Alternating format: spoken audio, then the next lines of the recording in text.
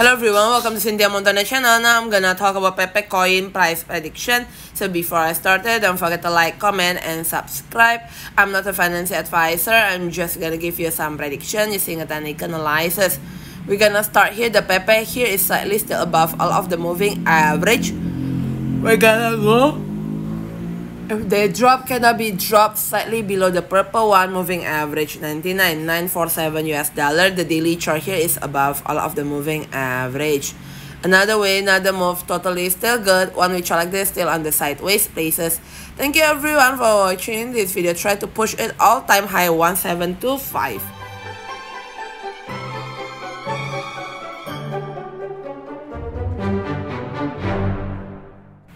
Hello everyone, welcome to Cynthia Montana channel. Now I'm gonna talk about Pepe coin price prediction. So before I started, don't forget to like, comment, and subscribe.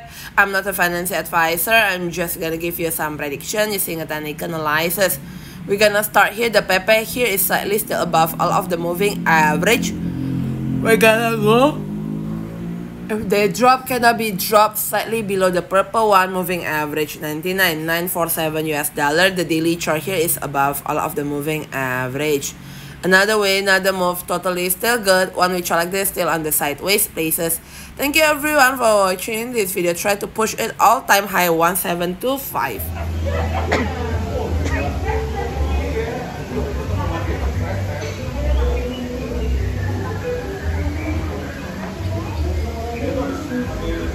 para ti.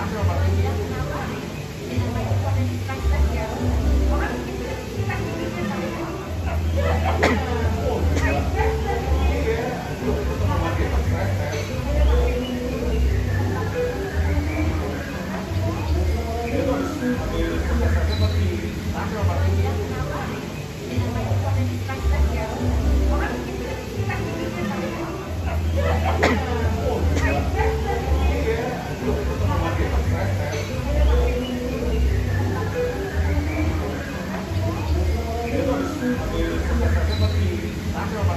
you.